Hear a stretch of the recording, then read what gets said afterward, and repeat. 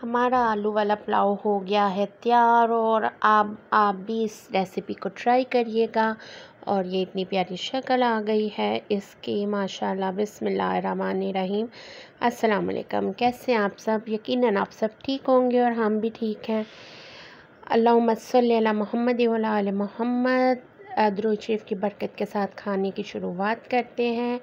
और आज की रेसिपी में है आलू वाले चावल या आलू का पुलाव। या बाज़ लोग इसको तिहारी भी कहते हैं। निहारी नहीं, तिहारी। ये ज़्यादा उर्दू स्पीकिंग लोग कहते हैं, तिहारी। और ये हम कर रहे हैं प्याज ब्राउन। ये कर रही है मलाई का प्याज ब्राउन।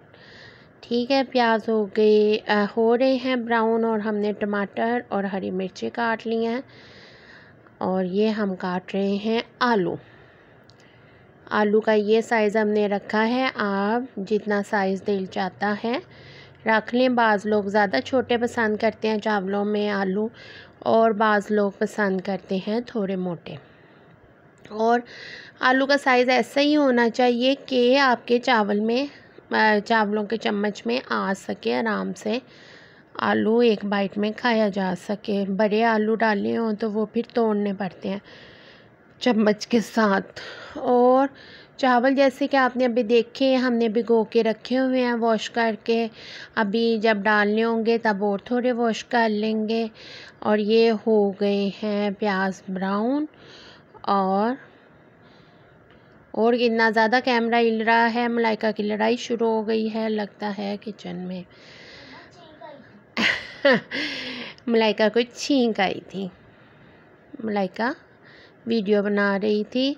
और ये हमने टमाटर और हरी मिर्चें ऐड की हैं, जैसे ही प्याज ब्राउन हुए हैं। प्याज ज़्यादा ब्राउन किए हैं ताकि चावलों पे अच्छा कलर आ सके। फिर हम हल्दी नहीं डालेंगे। अगर तिहारी बनानी हो तो चावलों में हल्दी, आलू वाले चावलों में डाली जाती है, बल्कि थोड़ी ज़्यादा डाली जाती है। ये है सूखा धनिया पिसा हुआ। ये ज़ीरा, ज़ीरे से चावल मज़ेदार बनते हैं। जब आपने पुलाव वगैरह कुछ बनाना हो तो। और अब मैंने डाली है इलायची, बड़ी इलायची। और अब मैं नमक ऐड कर रही हूँ। यानी कि मेरे जितने ग्लास चावल हैं, उसके मुताबिक फिर मैं नमक डालती हूँ, जो मैंने मैयर किया हुआ है कि कितना होना चाहिए। और आप भी ऐसे ही मैयर करके डाला करें। और ये मैंने मिर्चों का चम्मच डाला है, ताकि बस ज़्यादा स्पाइसी ना हो। आज मैंने इतने स्पाइसी नहीं बनाए।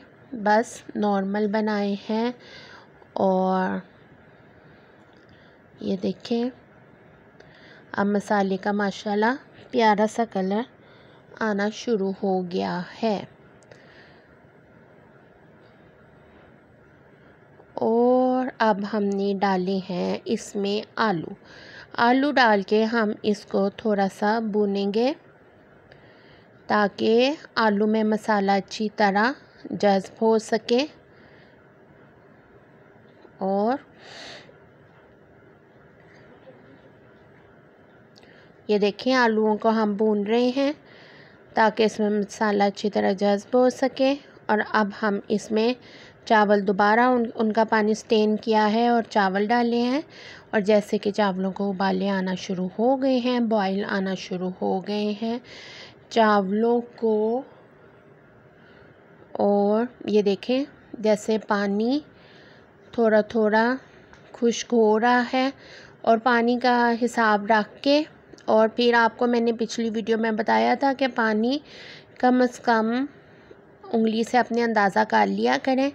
एक इंच तक या उससे थोड़ा सा ऊपर हो और चावलों में डालें तो पुलाव बहुत अच्छा बनता है। अब जैसे कि इसमें पानी होगा थोड़ा थोड़ा और मैं इसको लगा दूँगी दम और ये देखें, चावल पक रहे हैं अभी मेरे और इन्हें मैं अभी रखूँगी दम पे।